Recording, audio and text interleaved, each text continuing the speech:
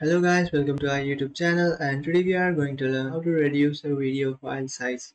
So let's, get started. So if you want to reduce your video file size, so to do that what you can do is just first of all open up your browser. After opening up your browser, now in search bar you can search for video compressor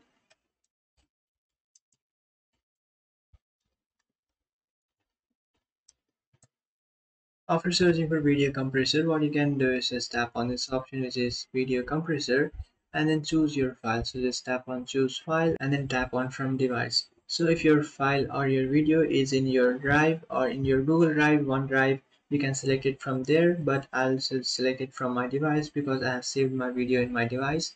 So I'll just select this video and after selecting the video now what you can do is just tap on the settings icon beside that video and then change it so if you want to lower the size more what you can do is just drag it up so if you don't want to do that just keep it at the same place.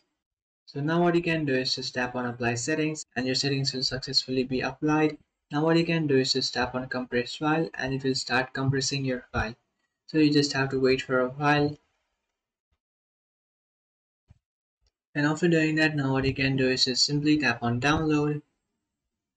And after tapping on download now what you can do is just simply tap on this download option this is on the top right corner and then open it in your files. So now what I'll do is just I'll show you the comparison of my files so if I'll just drag it and drop it in my videos and then tap on this option it just compare info for both files. So this was the first video which I compressed and this is the compressed part of that video. So you can see this is of 11 MB and this was of 19 MB so by following these steps, you can also compress your video file. So my video file is only of 20 MB, that is why it has not compressed more.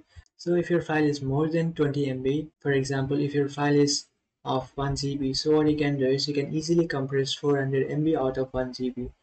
So in this way, you can use that website. So just type in video compressor and after typing in video compressor, you will find this website and from here what you can do is just simply upload a file. So I have just selected a small size. So what you can do is just tap on settings and after tapping on settings if you drag this bar all the way up your video size will be more compressed and you will have more lower size of your video.